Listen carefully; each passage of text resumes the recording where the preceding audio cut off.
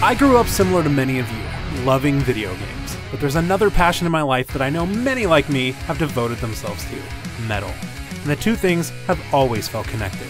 Throughout my headbanging, button mashing life, I've come across many other metalheads who are also gamers. But how many of us are out there? What draws us to both of these things? Where do some of my favorite musicians and developers stand on two of my favorite art forms? To figure this out, I gathered some of the best from both worlds to hear it straight from the headbangers' mouths.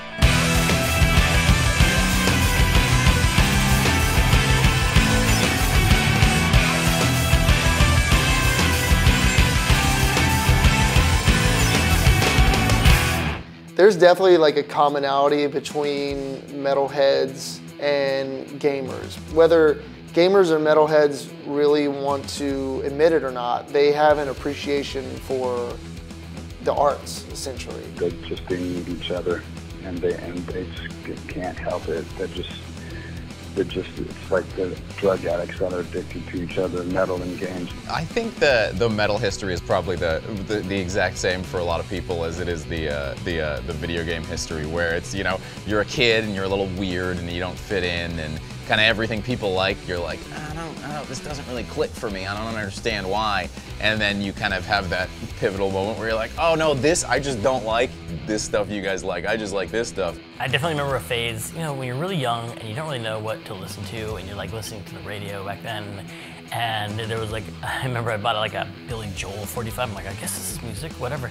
And my brother like heard me listening to that or like Supertramp or something. And he's like, come here, I wanna, come here he brought me down to his room and he put on Black Sabbath and like the first few notes of like Iron Man. Boom, boom. And I was like, is the world ending? What's happening? and it just was like this moment where I just have never forgot what it feel, felt like to have my older brother play heavy metal for the first time for me. And I was just like, oh my God. And yeah, I had all his records to like start with. And then um, started getting into, you know, Ozzy Osbourne was just making his solo albums at that time. So just getting into it right at that period. And I still have the first big album I ever bought was Diary of a Madman, Ozzy Osbourne. And it was so amazing to have him in Brutal Legend be able to be like, will you sign this?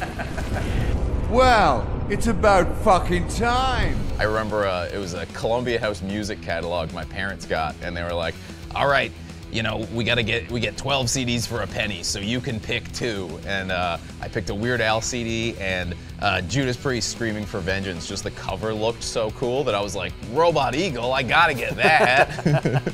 So I kind of grew up somewhat in the Napster era. So we would, you know, you would find playlists and stuff like that of, of different metal groups and find all these totally different bands that you never would have heard of. So it's kind of cool to now be on the receiving end of that because you've got, you know, streaming platforms like Spotify and, and iTunes Music and all this stuff. So a lot of people, the benefit of the internet era is that a lot of people are finding out about you that never really would have back in the day, pre pre-internet. And as far as the gaming world too, yeah, it's endless. Like you just stumble upon so many different different games that are within the kind of games that you prefer. It seems like Napster, Spotify, and many other music sharing services echo back to the origins of metal, when fans got their music through tape trading via personal ads in metal magazines, shows, and dedicated fans spreading the word. This evangelistic approach to advocating for such consuming art also applied to the early days of gaming, when word of mouth, message boards, and chat rooms ruled the day.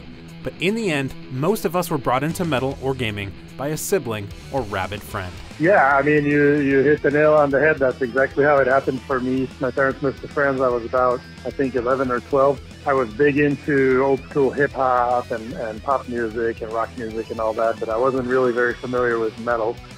And uh, one of my classmates started handing me tapes. So exactly like you said, you know, and that's how I totally fell into like first thrash with like Megadeth, Metallica, Slayer, all those bands, and then quickly uh, into death metal, grindcore, you know, all the most extreme stuff that was around. And you know, I mean, when you're like 14 or whatever, you don't really have the resources, or at least most people don't, to go and, and buy everything you want to hear. So it was just kind of like whichever way you could get your hands on stuff, you know you would yeah. get it. Growing up, my, my brother, he was a healthy two years older than I was, so we grew up in the Nintendo era. That was some of like the greatest memories of my childhood is me and him bonding over that and playing that for hours. This game came out, Kiss Punisher, And I really liked the Punisher because you know this wasn't the dude that had uranium bolts coming out of his asshole, you know, or something like this. It was just a guy. You know, he uh, he was mad because his wife and kids were murdered, and he just became a vigilante. And I thought, fuck yeah! And I thought this is my guy. So. Uh, Killing is My Business, the first album we had, which title track was based off of Frank Castle, The Punisher. And in the second half of one of our most popular songs, Holy Wars, dot, dot, dot, The Punishment Due. The Punishment Due is The Punisher. I'm pretty old, so my first memories there are a lot about like the Atari 2600 and the Adventure uh, cartridge. You know, probably of the first 2600 games, Adventure was the most metal because it had uh, dragons in it and had swords, so um, and bats. So that was pretty metal, but it was pretty blocky.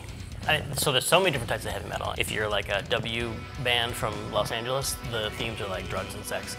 If you're the themes that I like a lot in new wave of British heavy metal were often like madness, isolation, darkness, you know, diver madman, you know, loneliness, and and then there's like power metal, which is so much more about heroism and warriors and that kind of fighting, like oh Valhalla, you know. And I feel like that one especially, you know, both you know, all of those can have place in games, but that one of like the warrior is like so um, present in so many video games, and I think uh, tied together and makes such a great soundtrack too. I got a Commodore 64. My dad got me that early on. I think I was maybe six or seven years old. The way I got most of my games was like pirate copies, so I didn't actually own many games because the Commodore 64 initially was like audio cassettes that you had to uh, load the games from, but then later on floppy disks, you know, I, I just knew some friends in school, some guys that somehow got a hold of a lot of stuff. So, so I didn't actually, unfortunately, own many games, but I was hooked from the minute I had a computer, and I was probably spending way too much time playing, which is interesting because later on in my teenage years, you know, and I started uh, being more and more interested in music and then playing instruments, I'd go to my guitar first, and then later when I was playing drums to my drum kit, and then play video games to end the evening. So, so when you're saying those things are connected, I have to definitely agree. There's always been a connection to me from video games to heavy metal. Um, for me, mostly about the themes that have a common root in fantasy. Like even if you go back before metal, like Led Zeppelin, like uh, Robert Plant was always singing about Mordor. You know, it's yeah. like this this Tolkien-esque like root, but they have that that shared um, love of steel and, and, and you know lore and all that. Thematically, a lot of video games are about justice, and I feel like metal in general kind of tends to be that way as well. Like uh, you were on expert mode uh, and I watched that, and you were wearing a shirt for three inches of blood, and immediately destroy the orcs. Yeah, destroy the orcs came to mind, and I was like, that is the most video game metal song I've ever heard. Metal music makes people salivate. It makes them, it makes them happy. It gives them what they want. When they're mad, they don't go and put on a Beatles track. You know, when they want to get in their car and, and uh, drive fast, you know, they don't go put on Pet Shop Boys you know, it's the metal that you know, feeds the that that fire, that unquenchable thirst. And when you're playing a video game, I think if you're not capturing the moment musically with the intensity of the game, you know, people are going to drift off to sleep. You need something that's going to keep them enwrapped. And a really good riff will keep people excited. Hey, you know what? Let's put some narrative in here. Okay, let's have some GIs. Well, let's have them talk like real GIs. Well, real GIs, when they're in the trenches, they don't go, excuse me, sir, can you please pass me another round of ammo? They say, give me that fucking mag now. you know, and it takes on realism and that intensity, you know, of like that. You don't see them sitting around listening to Bach. There's music that just kind of goes with that adrenaline as the heat starts to ratchet up and the adrenaline starts to to flow. For me, I don't want to dumb it down and start listening to, you know, some evening music, man. I want it to get loud and fast and rude, and I want the beat to pick up, and I want the solos to be wailing, strapping on the exoskeleton suit, and, you know, it's kind of the same feeling when you put a guitar on and you walk out in front of an audience. And also, the attitudes of the fans, that, that kind of feeling of undergroundness of, you know, like, you know, my high school, it was like, the, the metal guys would get together and like they were of like lurking in the corners and talk about like the new albums and stuff like that. And video games were like that. It's not so much you know nowadays that all kids are playing Fortnite and stuff. It doesn't feel exactly the same way, but that kind of a little bit outsider feeling of being a heavy metal fan and a video game fan when I was growing up kind of had a very similar. Um, yeah, tone to them. Metal is definitely more of an escape than a lot of music. You know, pop music will be like talking about things that, you know, people generally do. You know, uh, but with metal, the things we're talking about are generally not what people do at all. It's it's it's it's really out there. And then you know the same kind of the same kind of thing in video games. Those themes, definitely the, the epic battles and, and the fantastic worlds and the invented creatures that can be really you know kind of like what we would imagine in our wildest dreams and stuff. I mean, I think that's something that you know it's always going to be present in metal. I mean, even I would say it probably started with literature. You know, which for me, like I used to read a lot of science fiction as a kid and also some more horror or fantastic stuff. Lovecraft, you know, Lovecraft was huge for me, Edgar Allan Poe. Before there was metal and before there were video games, that's kind of where that all started. And I think it's something that people have always, you know, at least a lot of people have always been really passionate about it. That, that's always going to be something that lends itself really well to the inherent darkness and, and kind of you know, aggression that comes with metal. Diablo, uh, Doom, anything like that. At some point, you're watching it and you go, okay, yeah, there's this is an album cover. You clearly looked at these album covers growing up. You had a nice LP, and you're like, one day I will be in there. And then you, that was the way you kind of figured out. You're like, oh well, hey, if I just get into uh, 3D rendering, I can just get in there. That's awesome. It's not for everybody this kind of stuff, but I think you have to have a kind of mindset where you really want to dig deep into something like that, where you can really get excited about something that has a certain depth to it. And again, that goes for both albums, music, bands, whatever, and, and video games. I think if you look at the nature of somebody who will write code for hours and hours and hours just so they, they can build a game, that's a, a mindset and a beast all of its own because the thought process, the genius that goes behind keeping track of all that code. and you know, how do you make the game sticky? How, how do you compete with Call of Duty and Doom, for Christ's sakes, you know? I mean, they both have this outsider status, and they both have themes that I think um, are fun to explore, especially at a certain age. You're like, you're really exploring your darkness. I think you're exploring your shadow. You know, I think um, fantasy has that. Maybe it's exploring fears or exploring exciting, weird, extreme things. You know, um, they're really appealing when you're, you know, figuring out your own identity, and and um, those things appeal at that age. You know, my first exposure to heavy metal was Black Sabbath and Ozzy Osbourne, and they're they're not about like power and aggression. They're about madness often and like uh, paranoia and, and fear.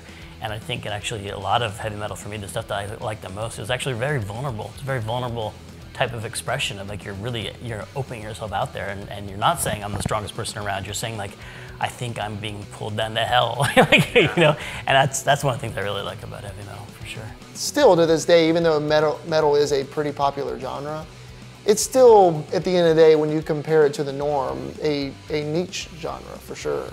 Um, so you still have this communal aspect within the metal community too.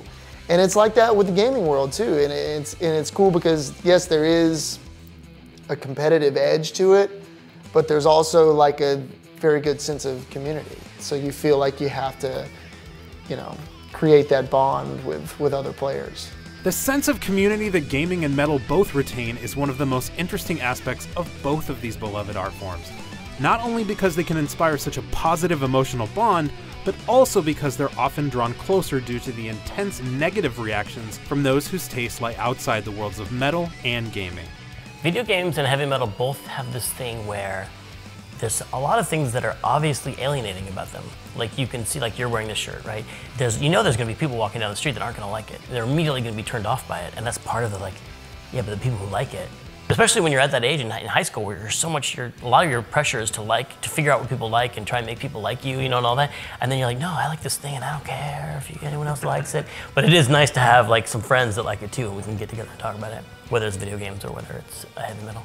I think to some degree, whether directly or indirectly, I think metal music has influenced the scoring of a lot of video games, even the older ones too. Like when you go back and listen to old Mega Man, like old Sonic the Hedgehog, and even some of the stuff like on the old Mario games. Everything's kind of in this minor scale, so it kind of has has this like metal edge to it, like aggressive sort of edge. And even in, in some, you know, like with the old old video games, like that 8-bit, they were 8-bit sounds, but it still had this like aggressive sonic feel to it. Um, and especially now, so nowadays, like the modern games, like the the latest release of Doom, Wolfenstein, they've just taken that to a new level because now they can go full out aggressive with it. And this is where metal and video games finally tied the knot. More and more games are committing to hard rock and heavy metal scores or finding the means to combine symphonic, electronic, and metallic elements to create something new. It's worth commending Mick Gordon's massive success in recent Bethesda games like Doom and Wolfenstein 2. But what about the other side of this coin? Metal bands have begun boldly brandishing their video game influences, often going as far as recreating sounds from games, writing lyrics inspired by games, or even including sections of some of the scores of their favorite games within their own music. It feels right to see metalheads wave their nerd flags high, and these two subcultures finally embracing their love for one another. Oh, I think that's that's pretty present. I mean, now there's even a number of bands that are bands like DragonForce and the like. You know, they they have a very uh, flair and a vibe to them that that's similar to the epic, you know, tunes and the build-up that you can find in video games. So, I think nowadays, obviously, the memes are very different. So, a lot of games, like for example, I'm a huge Dark Souls fan. That's kind of what I've been playing the past five years or whatever. Now it's still what I put on when I write dialogue for games. I have this uh, playlist that just blasting heavy metal because I know the song so well that I don't. It's not distracting or anything, so it's actually good for doing creative stuff. You can sometimes hear, even directly hear that influence where you'll be like, why does this riff sound familiar? And then you're like, oh wait, this is kind of like, you know, this fight with Dr. Wily or, or, or, or whatever. You had these two really similar kind of scenes, two really similar kind of people drawn to them, and you do definitely get that oh, well, you grew up listening to the same stuff and watching and playing the same stuff as I do, and now we've all kind of turned into really similar people as a result. For one thing, i have been listening to heavy metal while I've written every single game. So, like, Grim Fandango is all like Spanish and, and film noir jazz music. But I was listening to Motorhead the entire time I was writing that. it doesn't. I don't think it comes out. It's just, just, it just the way it was. I hope there's a little bit of metal and everything like Megadeth started having songs and soundtracks as early as 2001. So that's been now like almost 20 years probably where that kind of stuff has been happening. Every action game wants to have a heavy song. I don't think any company really targeted this demographic. I think it was for a, a creative and inspiration-based thing that just people who like to make games and people who like heavy metal have a lot of, of shared inspiration. A lot of times you'd see a, a video game and would use heavy metal in their trailer, you know, because they had a lot of these images of knights or demons and that kind of stuff, and they, it would seem so right to put a heavy metal song in the trailer. But then you play the game, and it'd be a very symphonic, you know, more John Williams type thing going on. And you're like, why don't we just keep that music for the for the game? And that's a lot of the inspiration for Brutal Legend was like, just just we these things want to be together. Why hasn't uh, more of this been done? I'm sure that some of those influences creep in there because video games have been a part of my life since as long as I can remember. And I did play drums on an album where all the lyrics were based on Dark Souls, but that wasn't really my doing. I, I found that out later. They have these very, this very anthemic and epic imagery within the game, which is very similar to heavy metal music. Like they kind of, for some reason, those two things just go hand in hand. Like it's not, like you think of a, you know, God of War, the soundtrack to that's not going to be like the B-52s or something. It's going to be something very aggressive and anthemic and, and um, you know, very, very motivating and very moving. And both of those worlds mesh pretty seamlessly.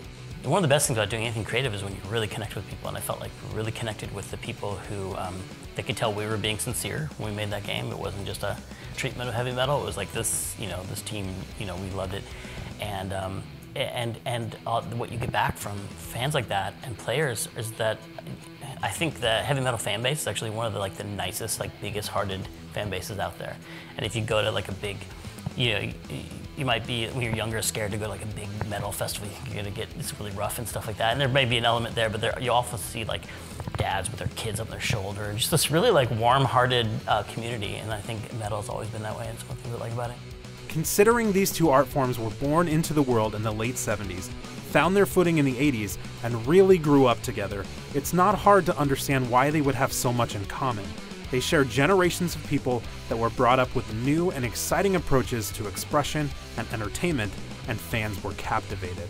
Interviewing these incredible people with their own stories so similar to my own has only thrown gas on the fervent flames of my love for metal and video games. I expect to see a whole lot more from both of them in the future. You can be sure we'll be here for all of your video game needs, so stick with IGN.